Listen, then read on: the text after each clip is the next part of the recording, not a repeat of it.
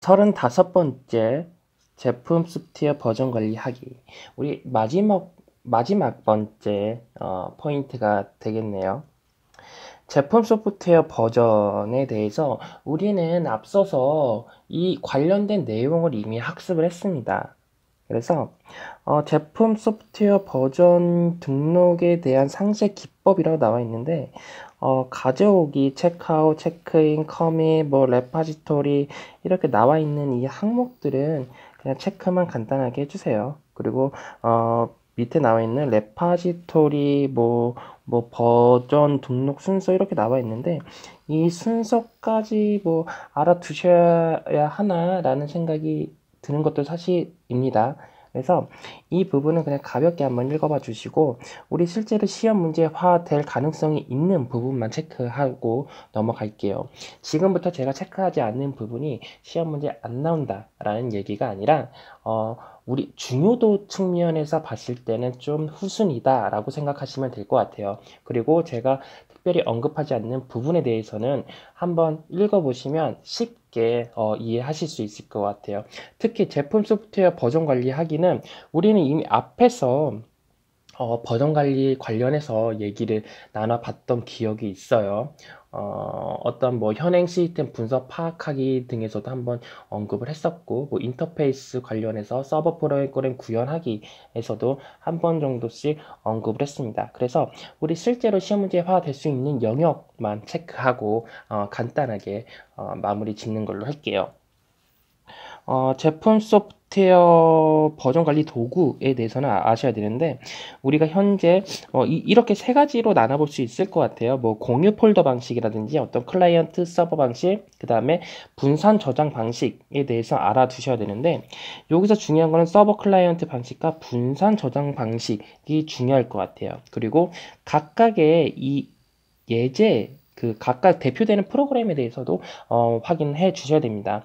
클라이언트 서버 방식은 CVS 그 다음에 SVN을 많이 사용하고 있고 분산 저장 방식은 우리 요즘에 어, 핫하는 그 핫하다고 할 수 있는 Git이라든지 어, 그 다음에 어, BitKeeper 이 정도까지 알아두시면 좋을 것 같아요. 그리고 저장소 구분에 따라서 저장소 구분, 뭐 로컬인지 중앙 집중 방식인지 분산 버전인지에 따라서도 달라지고 이게 공개형 소프트웨어인지 가령 그 오픈 소스라는 얘기죠. 오픈 소스인지 아니면 상용화 버전인지에 대해 지에 따라서도 이게 분류를 할 수 있으니까 이게 각각 이 분류 유형에 따라서도 따라서도 어 어디에 해당하는지 는 알고 있어야 된다라는 겁니다. 그래서 현업에서 쓰이는 다양한 버전 관리 도구 특징이라고 나와 있어요. 그래서 어, 지금 상단에 있는 이 윗부분들의 내용이 의 특징이 바로 밑에 하단에 나와 있다라고 생각하시면 될 것 같고 한 번 정도 읽어봐 주시면 어, 우리 학습하는데 충분히 학습이 될 거라고 어, 저는 봅니다.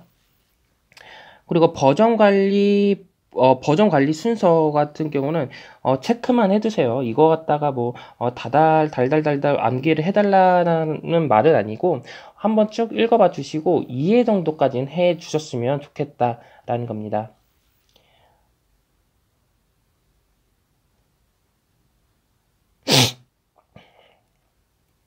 그러면 여기서 의문이 하나 있죠. 왜 버전 관리 툴을 사용하는지에 대해서 지금 이 부분에서 다루도록 할게요. 버전 관리는 어, 복구가 가능해요. 그리고 동일 버전에서 공동 작업이 가능하고 여, 어, 여러 버전의 솔루션 작업을 할 때도 가능합니다. 뭐 branch라는 개념이 있는데 우리가 실제 개발을 해보신 분들은 이 branch라는 개념이 뭔지 알 거고 백업과 복구를 어떻게 하는지 버전에 따라서 달라진다는 것도 알고 있고 그래서 우리가 버전 관리를 한 버전 관리 툴을 사용하는 이유는 어, 백업 뭐 어, 긴급할 상황, 긴급시 사용할 수 있는 백업이라든지 복구를 하기 위해서 그리고 같이 공동으로 작업하기 위해서 버전 관리를 하는 이유도 있고 그리고 어, 하나의 솔루션 기반으로 여러 개의 버전으로 제품을 개발할 경우에도 어, 사용을 한다라고 어, 생각하시면 될 것 같아요.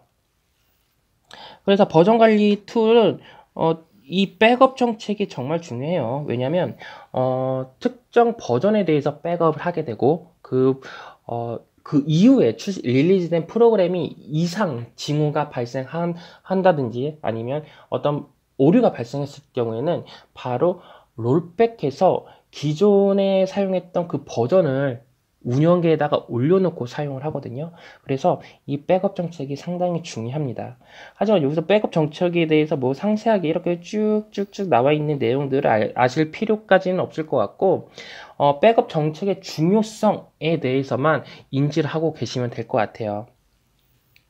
그리고 버전 관리 도구 활용하기라고 나와 있는데 이 활용하기는 앞에서 말씀드렸던 그 내용을 내용에서 좀 더 좀 더 추가된 부분이라고 생각하시면 될 것 같고 어, 여기 나오죠 공동 어, 공동 작업, 분산 작업이 이루어진다. 그리고 공동 솔루션 branch 앞에서 내용을 언급을 했던 내용들입니다. 그래서 어, 제품 소프트웨어 버전 관리는 그 어떤 형상 관리 관점에서 같이 봐주시면 좋을 것 같아요. 형상 관리를 한다라는 게 결국에는 소프트웨어 버전을 관리한다라는 얘기거든요. 우리 소프트웨어 제품 소프트웨어 버전 관리하기는 우리 앞에서 형상 관리를 다룰 때 이미 우리는 다뤘던 항목입니다. 그래서 지금 이 35번 35번째 포인트인 제품 소프트웨어 버전 관리는 크게 어렵지는 않을 거예요. 단지 그 제품에 대한 툴에 대한 어떤 유형별로 상세하게 그 예시, 프로그램 예시를 좀더 어, 세분화 시켜서 암기를 해 주시면 지금 이 35번째 포인트는 어렵지 않게 어, 우리가 마무리 지을 수 있다. 라고 어, 여겨집니다. 그래서 제품 소프트웨어 버전 관리는 우리 앞에서 나왔던 형상 관리랑 같이 연계해서 학습을 하시는 게 가장 효과적이다. 그리고 35번째 제품 소프트웨어 버전 관리의 핵심은 여기서 말씀드릴 수 있는 거는 어, 버전별로 아 아니죠 버전별로가 아니죠 핵심은 프로그램 음, 유형별로 어떤 프로그램이 어떤 유형에 해당하는지 에 대해서 분리만 상세하게 잘 해주시면 어, 우리 문제 푸는 데 있어서 크게 어려움이 없을 걸로 보여집니다.